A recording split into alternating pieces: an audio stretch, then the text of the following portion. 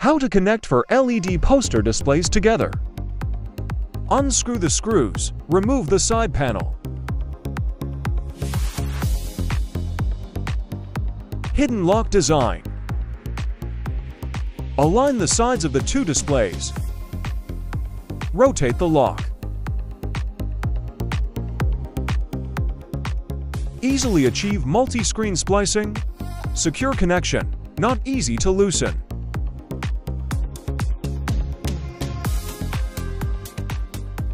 Insert the power cables into the power connectors in order. Plug in the PAL. Connect the HDMI cables to the side HDMI ports in order.